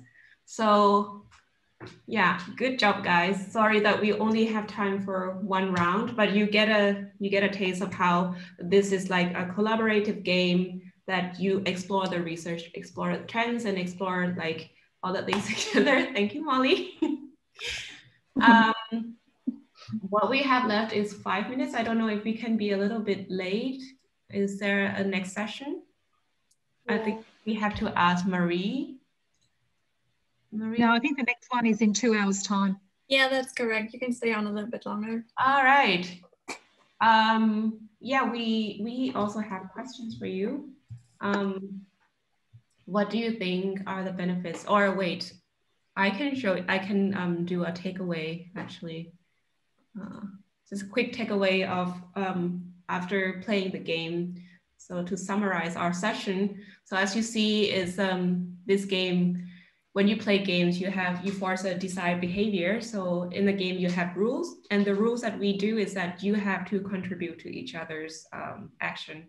You have to build on each other's story, and that's a rule that we want people to understand and and you know like do in the real project. That there's no one absolute answer um, from which department. It's more like you working together, um, interdisciplinary and um, it's a yes and so like like Kara would do this and Gunnar come in like yes and I can contribute you with this action.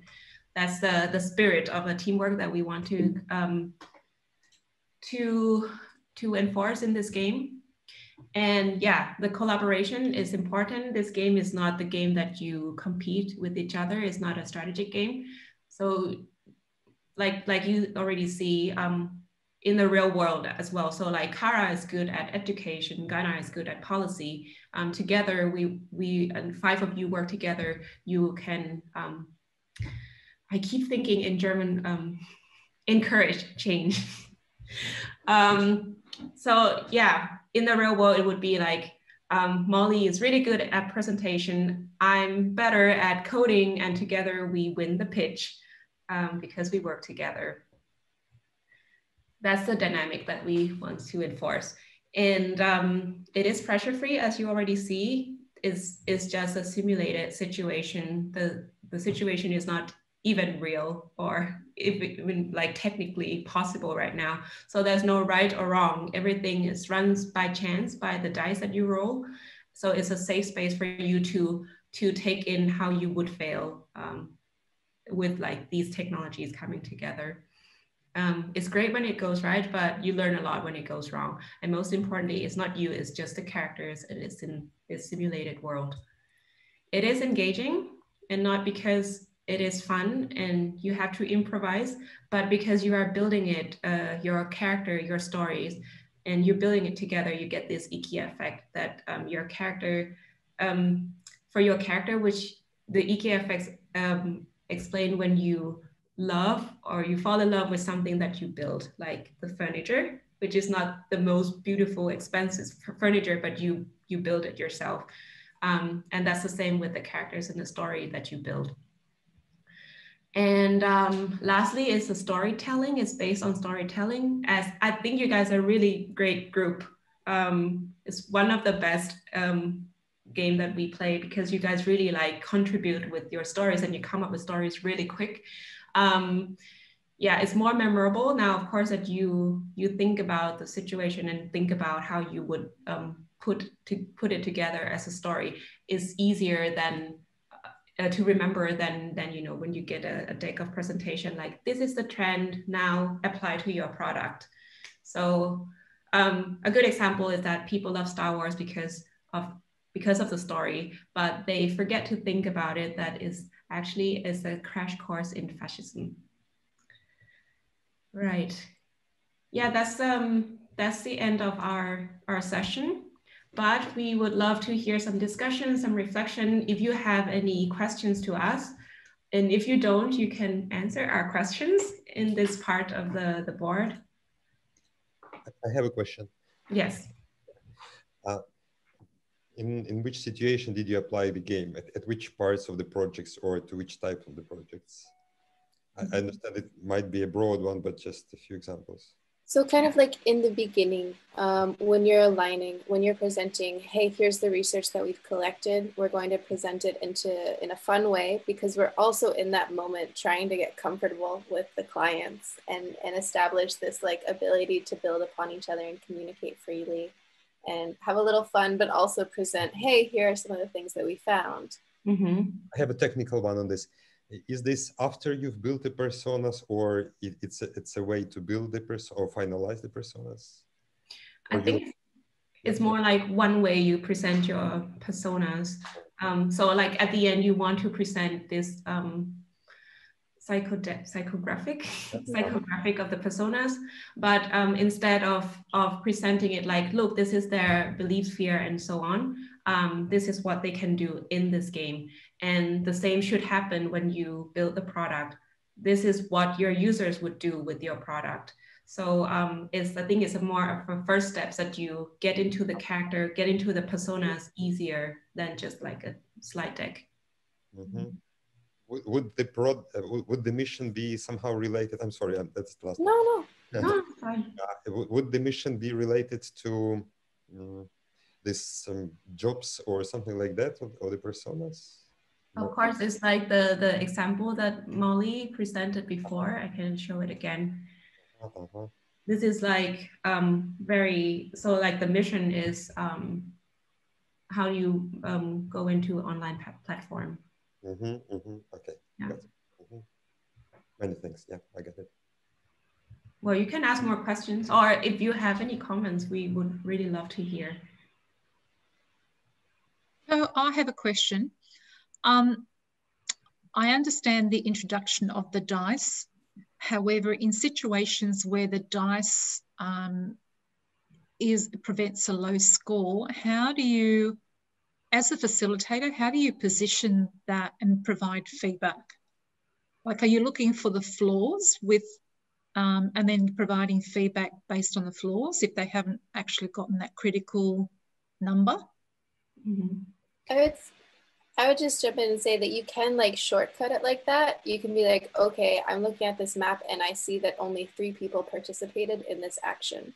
So I can instinctively say that it failed because of something related to the fourth person who didn't participate because you're trying to emphasize teamwork. But also we found that you know, when you do so much research. Thank you very much. I have to. Oh, uh, okay. Uh, Bye. Thank you. Really nice meeting y'all. And hopefully, do we get some uh, material or something presentation afterwards? Yes. Yes. yes. Really nice. I enjoy this. I have to go and uh, Thank you. take a break. Exactly. Yeah. Bye. Bye. Thank you. Nice meeting you. Um, where was I? Um, right. You can, you can, yeah. So you can improvise it, but also you've done so much research. You kind of already know in the back of your head what can go wrong, right? But it's just about having the invitation and the conversation to share that. Like if you if you've done so much research into the area, you you kind of have this wealth of knowledge that you've collected, but maybe it's not easy to all present in this very simplified way. And so you can pull upon that as you go. Mm-hmm. Okay, if you had more time, would you then spend time improving that that score, like engaging? Uh, because, like, I'm thinking of the of how I would use this type of game um, in bringing all various stakeholders in a room to try and get them to collaborate. Because as a change manager, I see it all the time that everyone works in silos. Um, and if there is one particular stakeholder that didn't garner very much support, could you use that as an opportunity to actually uncover why the, the others didn't consider that to be something that they would have contributed or like could, would you have explored that a little bit more rather than just moving around? Yeah, yeah, I love that. And and you definitely can play it that way where you're not just going from like mission to mission, but you're saying like, well, this bad thing happened how are we going to fix it? Mm-hmm. Okay, thank you. The main thing is that uh, yeah, you you have you you have the space where they want where you want the team to explore, and that you you maybe have the characters in this the this rolling dice that you allows you to explore when how does it go when it's like fail and how does it go when it's success yeah have you actually used this uh, for public officials like politicians because I think they need it the most. We talked to one, but um, it uh, sadly did not um, go through like all the way. We have some uh, some concepts uh, done, but um, it was not played. So yeah. Okay, thank you. If you know of any, yeah, let's do it. So what we do I is that we we do customized game. Mm -hmm. Sorry. Yeah, so um, I am wondering how do you apply this game in a serious uh, corporate environment? Because some of the people came into the room or workshop with we are here for serious stuff. Mm-hmm. And when we start to play games or apply this kind of game, um, I, we can always see there are a certain percentage of people uh, they don't consider that seriously, although that we, we do have like really rich and, and also really solid content in that. So mm-hmm. have you ever encountered these situations and how do you how do you bring them into these immersive experiences? I think it's uh, depends on the level of seriousness. Like um, what we're playing right now is very um, playful, I would say, but like the, the, the example that Molly gave in the beginning, this e-commerce one, um, the content is very um, like orient topic oriented and it doesn't really leave you much room to like, you know, take a break, uh, like the break policy or um, like all the fun stuff that we have now, or like build a rocket as an as an action. Um, but yes, this is one of the the problem that um, the people that we want to we want them to play doesn't feel like this is like go taking them anywhere, and this is still um, still like I think the, the biggest problem when we frame it as a game. Yeah. So I think um, this can be solved by the way that you present it. So if we say this is um, a little activity in a workshop that um, we want you to get to know the research in a different way, um, you can always do it. And then you frame it, the, the, all these actions and, and personas in a more serious way. So maybe you don't have like this so too lively um, illustrations or um, your trend cards are more serious and more like topic oriented. Mm -hmm. Thank you. Personally, I love playing games and we are trying to introduce like design strategy as like game design, but we always encounter like rejections. Uh, mm-hmm.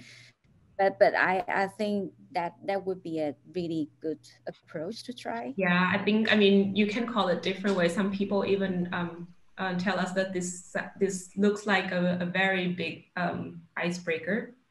I mean, you can also present it that way um, I think at the end you just have to speak the language of the team right, to like try to get it in. Yeah. Thank you. Thank you guys. This was great fun. Um, I'm I'm wondering how did yeah all this game or the initiative for for Playbase actually come in? So why did you start developing it and using it? Mm, we had I think originally we have so um, like in the presentation we we are like full service digital agency so we constantly think about tools to to add to our design process. And really originally is from um, the future thinking um, workshop that we had and Molly came in and she's um, the master of role playing games, like tabletop role playing games. And I thought, yeah, this is perfect because you can explore a lot um, through playing games. And um, I mean, if you can explore elves and uh, and dragons, why can't you explore the future? And yeah, and that's also it's together. Mm-hmm and and just coming from uh, being service designers in an agency that's you know service design but also we work so much with business and developers and we know role play as a method and it is really effective in getting engaged and like just testing things out. But yeah how do we make it something that can happen? Like mm-hmm. make it more approachable for people that are like no i don't want to role play. And yeah. and then we're just like all right um, it also lets you role play really complex things so like you could role play you don't have to be a human you know like you could be like this is the the, the ocean or this is this forest like mm-hmm. we translated giant concepts like regulation um, and education into characters to play as uh, so you can really use anything because we made it a little bit more formatted, added rules to make it more approachable. Yeah. Yeah, totally makes sense. Thank you guys. Any comments? I would love to hear comments. Is there any part that is too long, too um, confusing? Any part that you did not follow? Oh, I have a, a question. Um, mm -hmm. Have you had any um, any feedback using this game with people with disabilities? We haven't. But yeah. He is thinking about making it accessible actually. Yeah. Um, I mean, what's cool is that like instinct instantly it's more accessible because it's it's verbal. Okay. I mean, it's not fully accessible, right? Because then you've got audio um, and you've got speech impediments. Um, but at first you're getting rid of role play can be hard if you have to stand up and act and move around like that. So if uh, you're paraplegic or if you have like bodily impediments, it is accessible in that way. Um, yeah, because so much is typed, you can be typing more of it and you don't have to be speaking it out. You can be writing it out also. I mean, oh, to be honest, we were hit with our first like, oh my gosh, we have to make this online when, when Corona and COVID hit. Um, but I like that you're thinking further ahead. You know, how do we make this properly, fully accessible?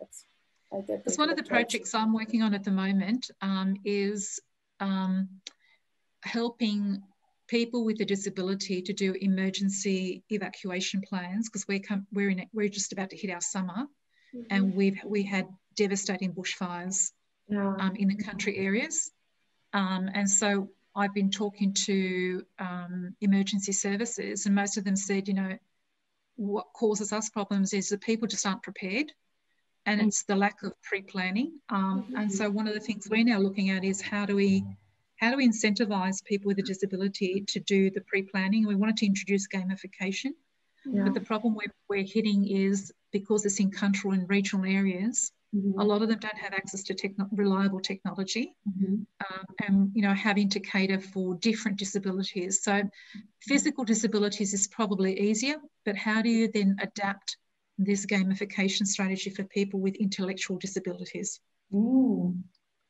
Wow, that's um that sounds really uh, exciting. um, like sounds like really exciting project.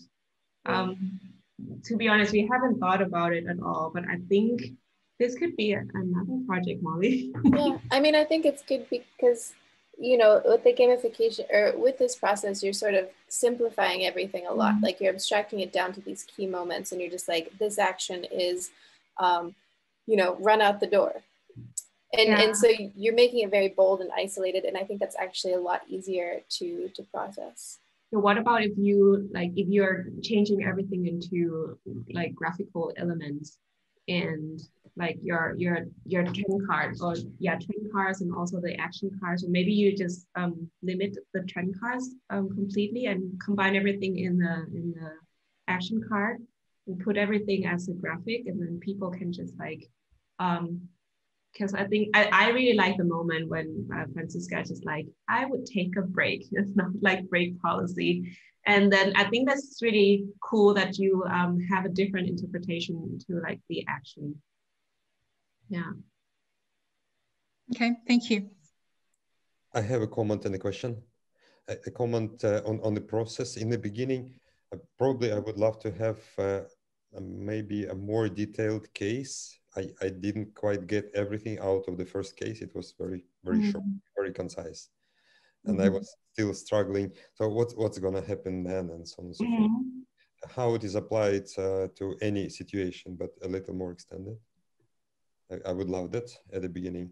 That's ah. always the challenge, right? Like, do you do you explain the rules a lot, or do you jump in and play? Uh, yeah. So actually, we we would love to have two rounds, so that the first round you kind of you always need the first round to understand how the game is running, and the second round is more like now you're like kind of um, release from your fear of building stories of like contributing your ideas. And then you're um, you don't worry much about the rules and what's going to happen next anymore.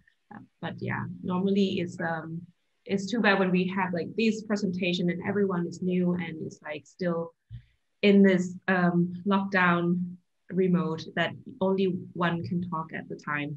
Actually one round was not a problem. I, I, was struggling in the beginning to try to fit it, uh, it so wh where will i apply it? So the, i ah, had okay. yes yeah that but that was an issue. One round was not a problem at all I, I okay. Yeah because you did very well. So maybe um, it's more about having like showing you how we built the case example like showing yes. you more of the steps along the way okay that's really great to know thank you mm -hmm, mm -hmm. the case i have one more question Mm-hmm. Um, how, how have you found delivering this in a facilitated face-to-face -face room very different to doing it online? What, like, what were your insights and what have you learnt? It's so much easier face-to-face. -face. Yeah, because you you you connect with the person, you see the person how they react to like yeah. the different um, actions, and and also I think this like that you can talk one at a time in the big group is really it, it's good that people listen to you, but also um, it's bad because then this exchanging of ideas is missing in the in the round table. um, a lot of exchanging is missing. How long do you run it if you do it face to face? Also around the same time, but I would say people are more engaged. Yeah. Yeah. So, uh, so I, um, so as an example, I did a 10 week online course on service design. Um, and because of COVID, it was, um, it was a fast transition into the online environment, but they made no changes to the course structure. And my feedback back to them, uh, because of my background as an instructional designer, is I said, when you're, when you're trans, transforming something that is delivered face to face, into the online environment, you actually have to increase the time and the duration of some of the mm-hmm. activities mm-hmm. um, because it's just it's the the fidelity it is much lower in mm-hmm. terms of the immersion, immersive experience. So my my um, suggestion would probably do is run this as a three hour workshop, not as a two hour workshop online. Mm-hmm. Um, yeah, I think for us, at, um, I don't remember. I would say it's around the same time yeah and maybe give someone a, like like a, a mini break in between. Yeah. Yes um, i'm so happy. I'm also have a background in instructional design which is you know we're awesome. Um, yeah. but yeah yeah i think i think doing that in breaks we've also toyed with the idea of like what happens if we make it even smaller? Like what if it's just like an injection of like 15 minutes super quick type of thing? Like exploring like what happens if we make it a really chunked learning moment versus what happens if it's bigger? Mm-hmm. agreed. Three hours with a with a proper break would be much more relaxed for this format. Because i know that when i take my when i take a break that's when my creativity hits. Right. That's when the consolidation happens. Yeah. um, and, and and so maybe what you could do is maybe do it as as different type of activities. You might do it like a, a fast um, you know, like a crazy eight, you know, a fast ideation session, and then you take a, a, half an hour break, and then you come back and you do like maybe introduce lots of variety for people to be immersed in, in different times, different pressures, different experiences to give people that that immersive, rich experience. Thank you. Great job. I love it. Thank you. I have one more question if I can. yeah, you go first. Uh, thanks, Francisca. Yeah, applying it, I have to run. uh, applying it to, uh, to, have you ever applied it to a strategy project or something like that? I, I kind of hear it, but maybe you can tell a bit more on that. Well, I think this one is quite strategic, right? I don't, I'm not sure. I'm, I'm not in the project, but maybe Josie, mm -hmm. Mm -hmm. you can tell us a little bit or Molly? Yeah, I would say, you know, mm, when somebody comes to us straight and they say, where do we go with this? And we can say, okay, we can provide you the generic future version. Uh-huh. Um, but honestly, more often it's people saying, hey, this is our specific area of focus. Mm-hmm. Um, this is what we want to solve. And so it's a little bit more focused. It's never been on a properly full open ended strategy project. Yeah, but also um, one thing you have it definitely could be. How how would you if if you had yeah. chance? How would you? What would you plug in? The real marketing data, you know, the competition, so on and so forth. Have you ever thought? Yeah, but more yeah. extreme almost. Like you know, exaggerate everything, make it a little bit more like like you you did, like more theatrical, more dramatic. Mm-hmm. Um, so plugging in lots of just trends trend cards and setting it in whatever time in the future or in the present makes sense. Uh, if it's strategy, I would stick with the base characters that we have for our off-the-shelf one, the, the characters that you played with, with some modifications that you know make sense to the client's industry. Mm-hmm. Yeah. yeah, but also you have to understand that this is not like after playing the game, you will not get the feature of the product or like it's not an ideation process is more of, of explorative. So at the end, you would say, okay, now you understand the research. Maybe you can have like an extra activity, uh, like um, a pre-idea to, to test how people understand the research and how like how it sparked their ideas. And mm-hmm. this you can do it in a way, and I don't know how you would uh, plan your strategy, or um, if it's a product strategy, for example, um, after seeing all of these research do you, how do you see um, the vision of your your project or your product yeah. mm -hmm. Mm -hmm. got it many thanks Many, many thanks. Thank you. I have another question, as you just um, mentioned um, that it's not an ideation session. Mm-hmm. Um, I'm wondering, have you ever tried tried it as kind of a usability or not usability, but a testing of a service or a strategy or something? How how does that work? How does it go? Actually, we thought about that, but we never really um, get to um, to the bottom of it or like have a um, a product. But yeah, we can really see how this could be like you just give a scenario and then you have this product and you think about how people act around it or you know use it um, but we don't have like a solid case at the moment mm-hmm. okay yeah because i thought we're like we're playing through scenarios in the mm-hmm. game and it shows like best case and worst case scenarios mm-hmm. and we can include extreme users but more mm-hmm. like yeah average user groups and so i was yeah just imagining it um, being a good tool for that as well Absolutely. yeah i think i think it re- can really be it's just that you change the, the mission and you change the center of the, the thing that you you include this product or include this feature whatever you want to test in yeah. it um, yeah to build your mission Yay.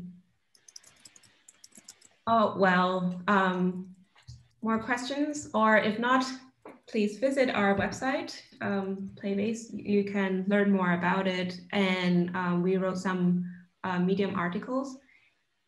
And yes, if you want to be connected, here are our emails.